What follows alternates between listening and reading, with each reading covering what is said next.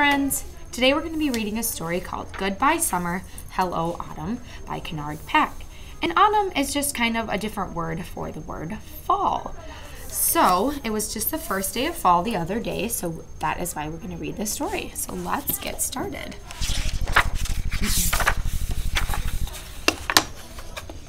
All right. Hello, late summer morning. Hello, trees. Hello. Now that the cool winds have come, we love how our branches sway in the sun. Hello, playful foxes and singing blue jays. Hello, we are busy looking for food. Some of us are headed south for our win- to our winter homes. Hello, walking stick and butterfly.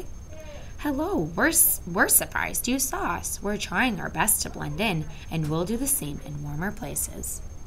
See where the walking stick is? Looks just like the stick. And then the butterfly's wings look like the leaves. Hello, beavers. Hello, chipmunks. Hello, we have no time to play because we're making cozy nests and dens. It will be cold soon, and we want to be ready.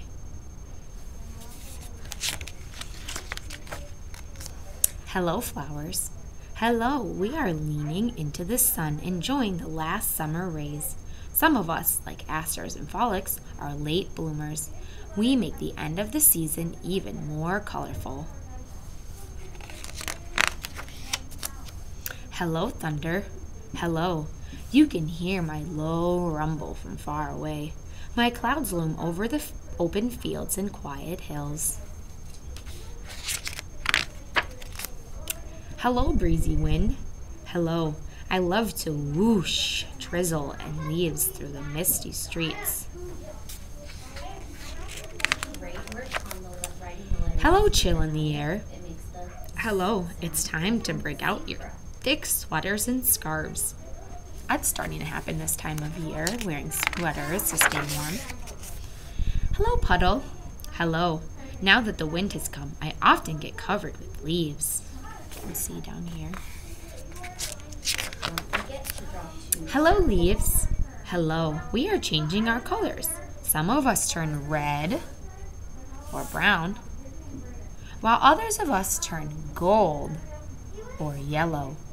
The dog leaves turn purple. So many colors. Hello, big orange sun. Hello. I am setting earlier and earlier now that summer is coming to an end, but I will see you again tomorrow. Goodbye, summer.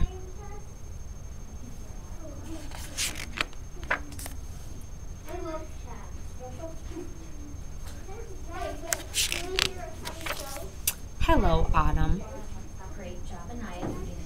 All right, the end.